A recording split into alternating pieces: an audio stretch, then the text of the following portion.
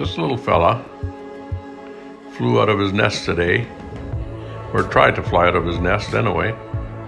He landed on the cement slab.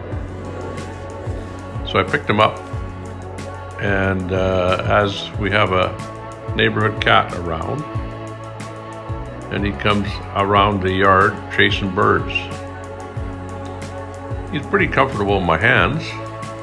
He really didn't want to leave, but I put him in a basket, figuring that give him a little bit of a chance to survive.